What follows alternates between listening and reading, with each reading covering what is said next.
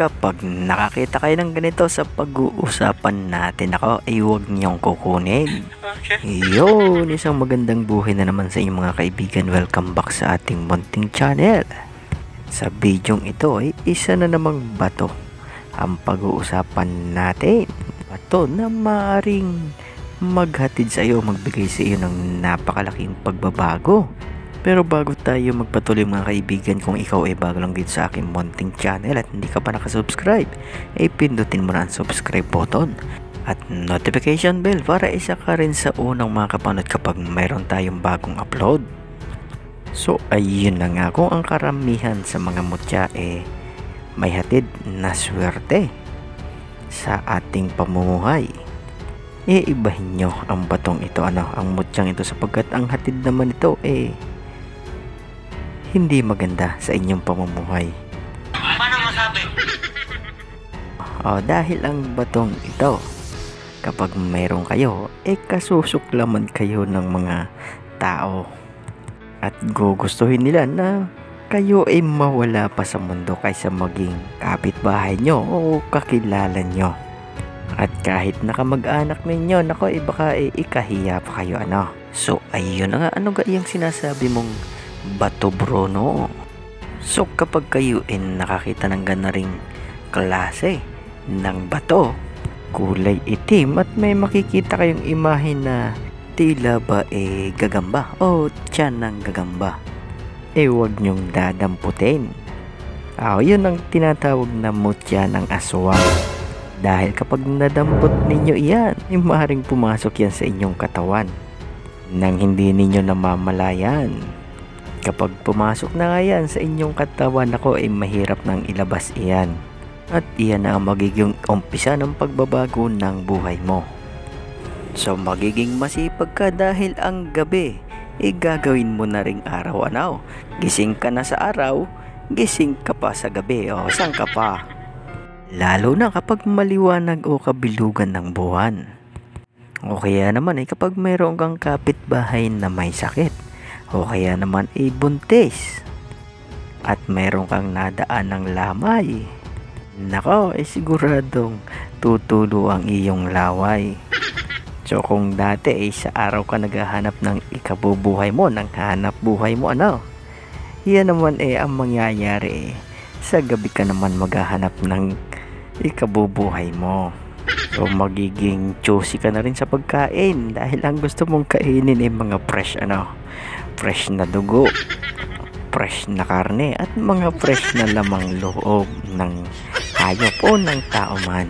So sa una eh hindi mo malalaman na aswang ka sapagkat hindi mo naman alam ang nangyayari sa buhay mo.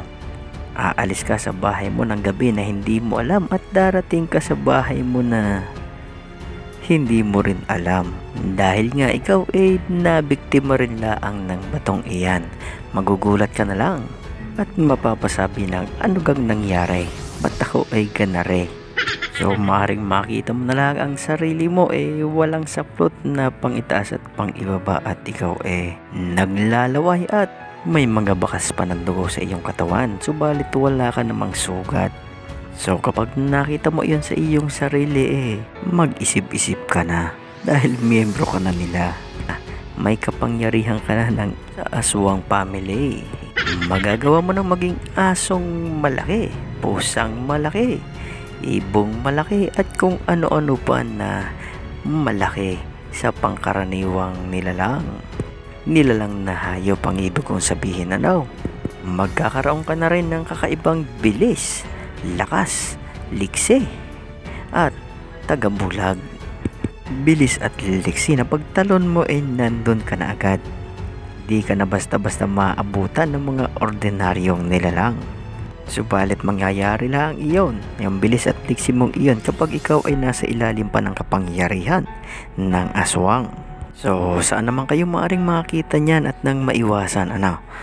So, kayo eh maaring makakita niyan sa mga pagkain, lalo na yung mga pagkain na libre o bigay-bigay.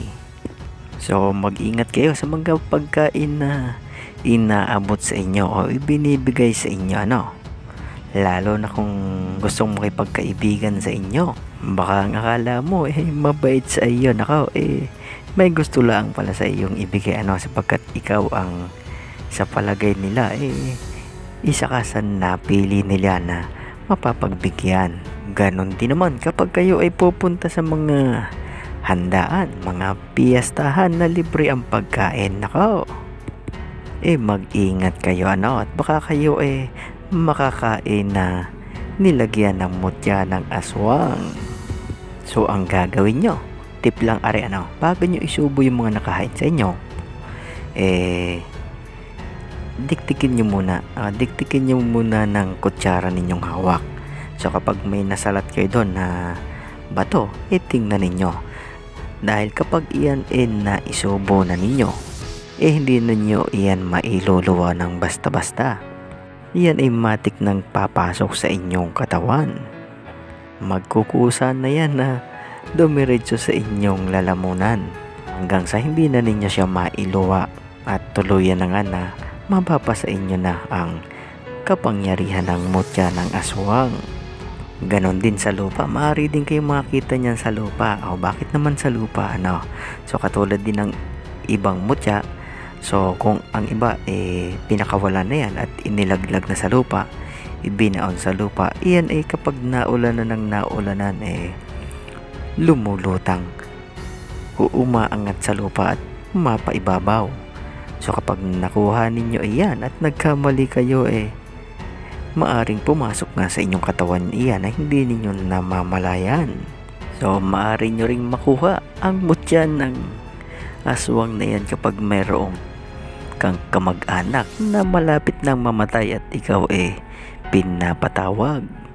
So, kunyari eh may ibubulong sa iyo yung mamamatay na anak, yung pala ay may isusubo sa iyo. At hindi mo na ngayon maiiluwa ng basta-basta. Kaya naman ay mag-ingat sa mga pagdampot ninyo ng mga bato-bato at sa mga pagkain ng mga pagkain ibinibigay sa inyo. Dahil baka iyan pa ang maging dahilan ng inyong pagiging aswang. Malamang sasabihin ng iba diyan ako, eh, iba na ang panahon ngayon, wala ng aswang ano. Naniniwala pa kayo sa aswang. Pero ang totoo, eh sila pala ang tunay na aswang ano. Parinig kita sa mukha eh! So, nasa sa inyo na yan kung kayo ay maniniwala o hindi ano. At least, eh, pinaalalahanan ko kayo kung sakaling maka-encounter kayo ng gayon. So, kung ang iba, eh, ang akala nila, eh, nasa mga probinsya lang ang aswang nako. Eh, hindi ho. Ang iba ho, eh, nandito na rin sa mga syudad. So, mag-ingat dahil kahit saan, eh, may aswang. Ang iba pa nga dyan, eh nakakotse at sa araw umaatake. Lalo na kapag alam na wala si kumpare. Yon, shout out ho muna tayo. Shout out si Madam Divina Battles ng California, USA. Tony Pujeda, Batong Buhay Mutya Hunter Vlog. Chris Alcantara. Alfredo Baisan Mutya Hunter Vlog. Janjan Alop na Masbate Kuya Bert Video Janlo de la Gracia Ron Paul Miranda Kay Paul at Kay Shout out din sa iyo Rolly Kala Taps General Auto Mechanic Diesel and Gas Rayleigh Vlog Agimat Power at Japet at Tredo ng Bukidnon. Shout out ho sa inyong lahat at maaari nyo rin ho silang bisitahin sa kanila kanilang mga channel at sila eh nag-upload din ng iba't ibang mga videos. Hanggang sa muli, maraming salamat sa panonood. Good luck, God bless at ingat ho kayo palagi.